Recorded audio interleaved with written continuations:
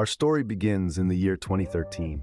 A collective of Lake Colico residents, bound by their love for their land and community, decided to take a step towards change.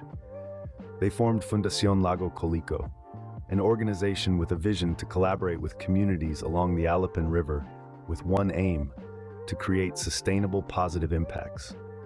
In the early stages, Fundación Lago Colico focused on enhancing opportunities in the Andean region of Araucanía. They identified Cunco, Freire, and Melipeuco as areas that could greatly benefit from sustainable development.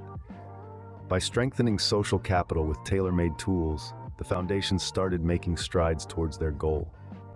As the years passed, Fundación Lago Colico began funding annual programs designed to support sustainable local development in rural communities.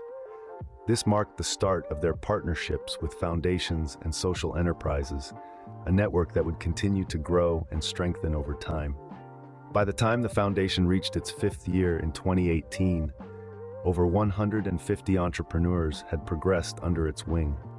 This had a ripple effect, impacting over 500 individuals, and their operations expanded from Cunco to engaging at national levels. Not content with just economic development, Fundación Lago Colico began influencing the environmental and tourism direction of the area. They engaged in education, celebrated culture, honored ancestral roots, and managed Mapuche issues, serving as a rural policy model. In the present day, the Fundación Lago Colico continues to evolve, maintaining its commitment to the communities it serves. Their continuous training programs and collaborations with various entities have led to increasing satisfaction levels in assessments. In summary, the history of Fundación Lago Colico is a testament to the power of community, collaboration, and sustainable development.